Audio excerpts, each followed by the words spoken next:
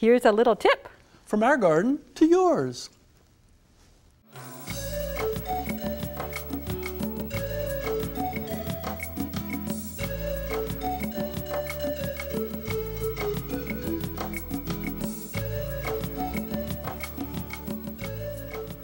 Do you worry about using pesticides in your garden?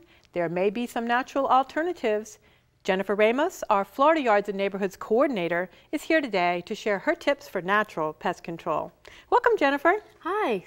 Jennifer, natural pest control, what does it really mean? Does it mean not using pesticides at all? Not all the time.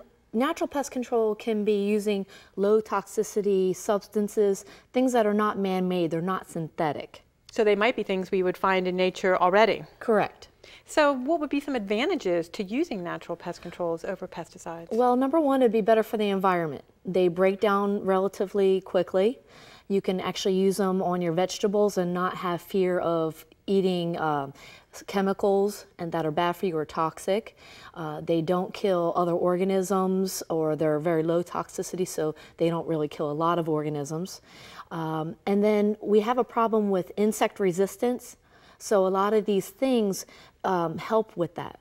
So they can help with all kinds of different products. And so there's a whole range of products that are insect control. Are there ones that control diseases? Yes. Or other pests like weeds and nematodes? Weeds, uh, nematodes, but there's not a lot of alternatives for homeowners tr trying to kill nematodes. Mm -hmm. But uh, funguses, there's a lot of fung uh, fungicides, there's a lot of things that you can use for disease control as well. So it looks like you brought me some different products. Yes. And uh, one of them we're going to look at is, is, I think you wanted to compare these two. Yes. So what do we have here? Well, one we have an insecticidal soap which kills your insects, and one we have a weed and grass killer. The thing is, it has the same chemical in it, but the insecticidal soap is going to be uh, less percentage of the active ingredient. The reason why is because this will burn your plants so you have to read the label. You have to know what you're using because not only do you have to know how to apply it, but you also have to know how much of that chemical is actually in that uh, container.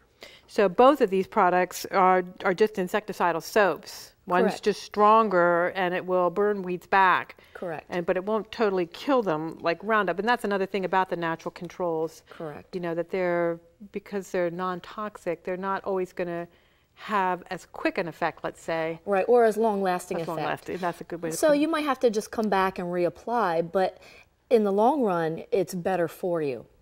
And I think a lot of people don't know that these insecticidal soaps, it says controls aphids, mealybugs, mites. It does really just as good a job. It really does. And if you keep up on it, if you apply it as often as you should, it, you really won't have a problem. So it's very effective. But this one yes. also, it's not where they um, fall over dead as soon as you Correct. apply it. They have to ingest the material. Correct. And it doesn't kill every caterpillar out there. And that's important to note too. Right. And I think some of these things are on the label, so you still need to read the labels right, of these correct. products. So we uh, also have, uh, which other one would you like to talk about? Um, let's see, what is this one? This one is this neem. is neem oil. Um, I like to use that a lot. You can use it on your vegetables. It comes from a tree. Mm -hmm. uh, you can use it on your ornamental plants. It also has some disease properties. Um, it also kills a whole variety of insects. Um, it either stops them from feeding or it regulates their growth so they can't actually go to the next life cycle. So it just it disrupts their life cycle. And some of these products have been used for thousands of years. Yes, they like have. the neem is used in the eastern, Middle Eastern countries. Yes. And it's a, it does have real insecticidal properties. Just like sulfur. Sulfur's Mm-hmm. been used since, I, I, I can't even tell you one.